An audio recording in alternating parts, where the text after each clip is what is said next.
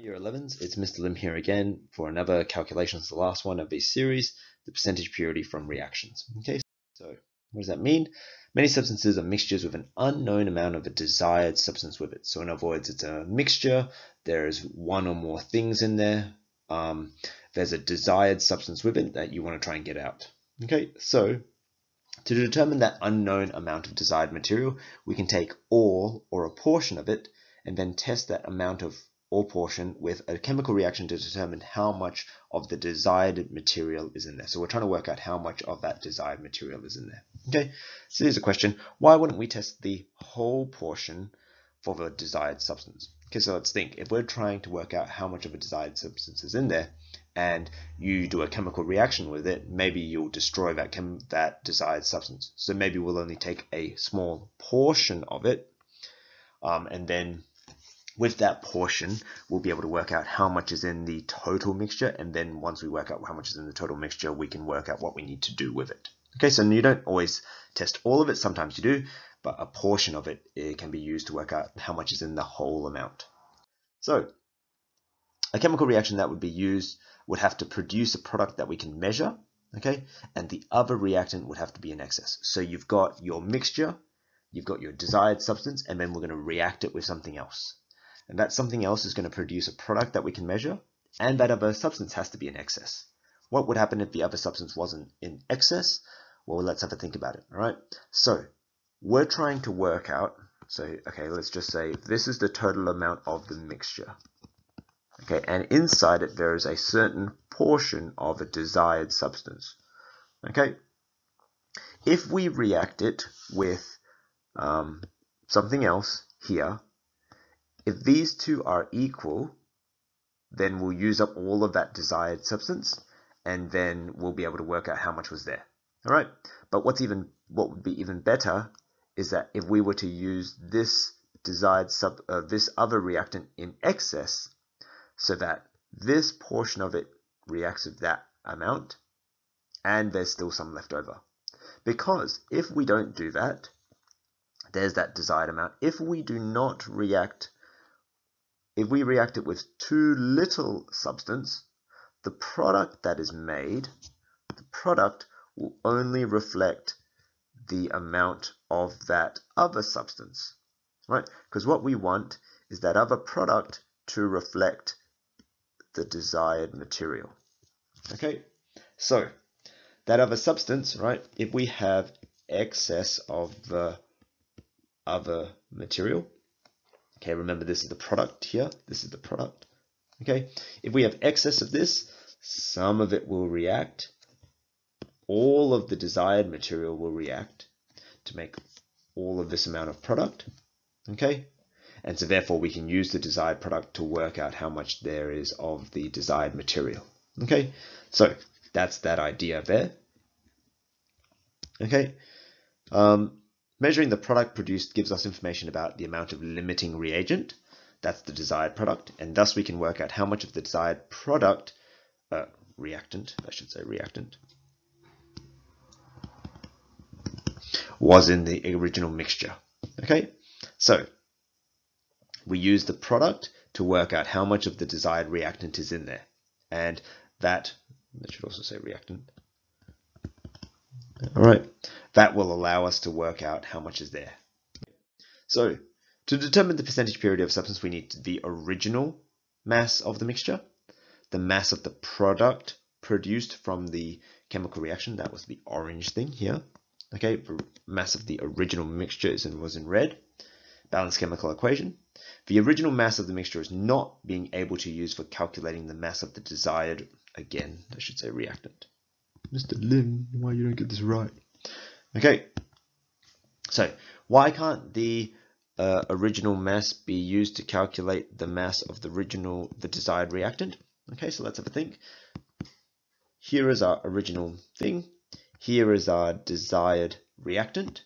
Okay, if we were to use the mass of the whole thing to work out the number of moles of just this desired portion, right, we would get, we would think, we would think that we had this much, when in reality we only have that much.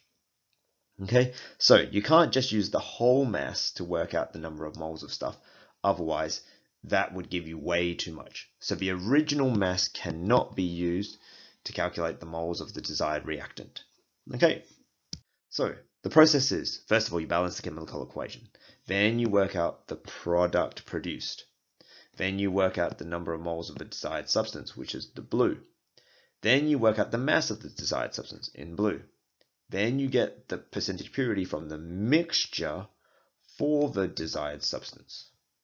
Okay, let's have a go at some of these things. Okay, so mixture, so we've got a balanced equation there already. A mixture of calcium carbonate and various impurities is weighed and analyzed for percentage purity of the calcium carbonate.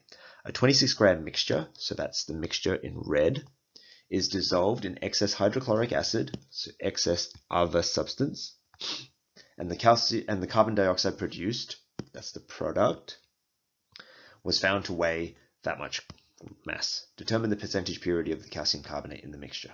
Okay, so let's work this out. We have to start off with the number of moles of our product because we've already got a balanced equation. So the number of moles of CO2 will be equal to 2.023 over 44.01, which happens to be uh, 0.046 mole. Save as A. Okay, so that's our number of moles of our CO2. Using that number of moles of CO2, we're going to work out the number of moles of our desired product, which happens to be the number of moles of CaCO3. That's our desired product, uh, desired reactant. Okay, you're going to use the number of moles of CO2 times the stoichiometric ratio, which happens to be 1 over 1. Okay, so that's the unknown over the known, which will then happen to be a that number of moles. Okay, now we need to work out how much of this 26 gram mixture, how much of this mixture here is calcium carbonate. So we need to work out the mass of the calcium carbonate,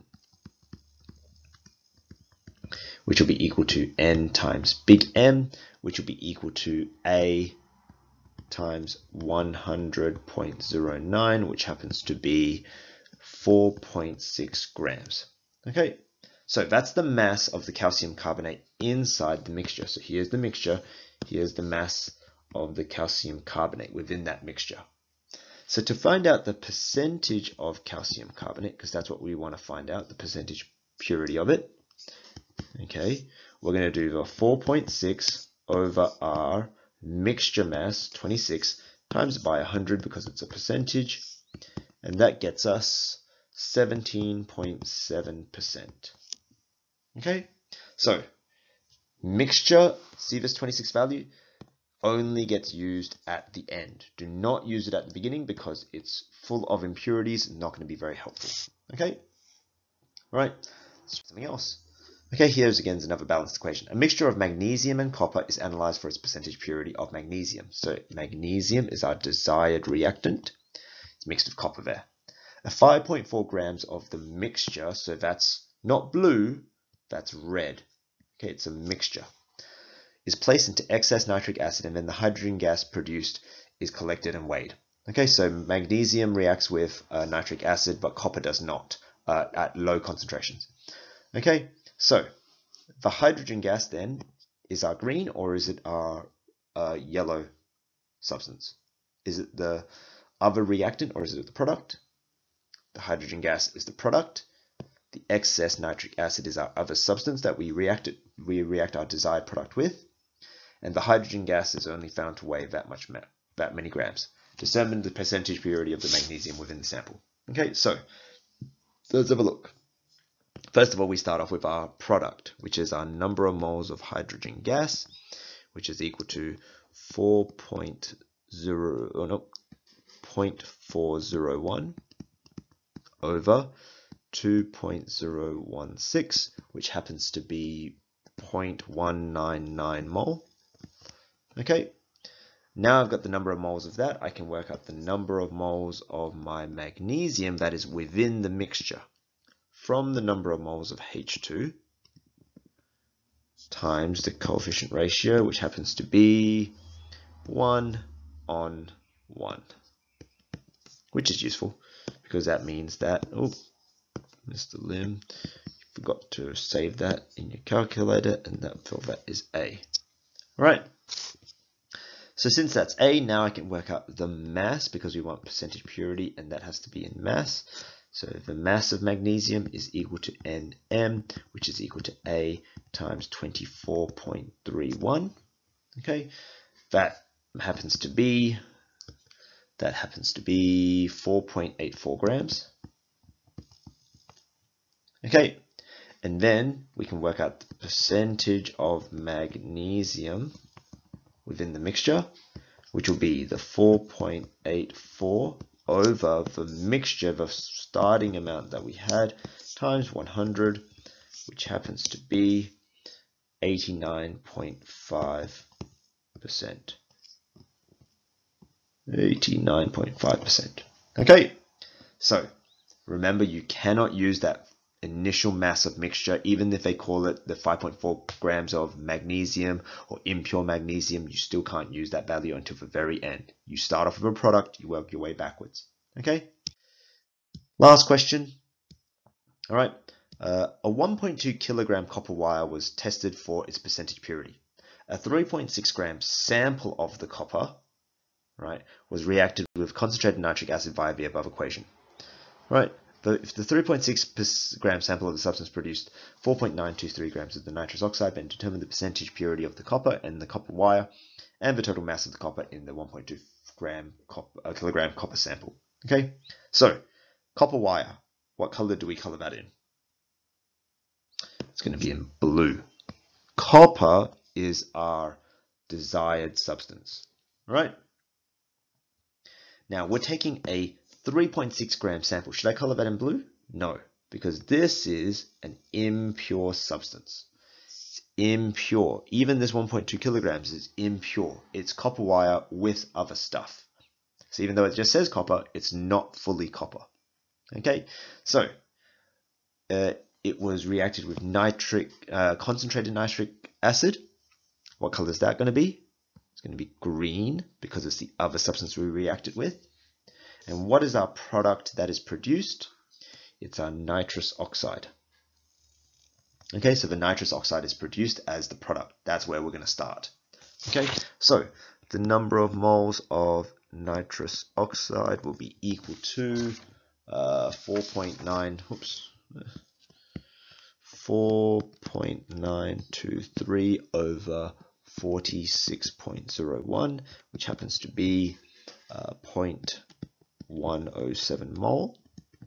Okay, that means that that will be A. We can work out then the number of moles of the copper from the number of moles of the nitrous oxide times what's the coefficient of the copper? 1. What's the coefficient of the nitrous oxide? 2, which happens to be then uh, 0.053 mole, which happens to be, we'll call B, right? Then we can work out the mass of the copper, which will be B times 63.55, which will be 3.4 grams. Okay, so now we have to work out the percentage of copper. So that would be the 3.4 over the 1.2 kilograms. Oh no, what have you done wrong, sir? That's not right. Because remember, this amount of nitrous oxide, this amount here, came from a 3.6 gram sample. So the number that you should put in there is 3.6 times 100 to get the mass of the copper, which happens to be no, the percentage of the copper, which happens to be 94.4% copper. Okay, now, have I finished the question? No, I've got the percentage purity, I've got the percentage purity of the copper, but I need the total mass of the copper in the 1.2 kilogram copper sample. How would I do that? Okay, well, first of all, I'm looking for the mass of copper in the 1.2 kilogram sample, what I can do is I know that it's 1.2 kilograms and it's 94.4% copper. Right, so this is, actually this should be, what color? That should be red because it's a mixture, impure mixture. And we know that it's going to be 94.4%. So you do 94.4 over 100. And that gets us a value of 1133 grams. Okay, and that's the total mass of the copper in the 1.2 kilograms of copper sample. Okay, so that's uh, percentage purity. Just remember, you start off with the product, and then you go to the desired reactant, and then you use the mixture mass. You do not use the mixture mass at the beginning, otherwise you're just going to make it wrong. Okay, that's all. Have a go at the questions and then we'll see how you go. Give, send us a message if you have any troubles.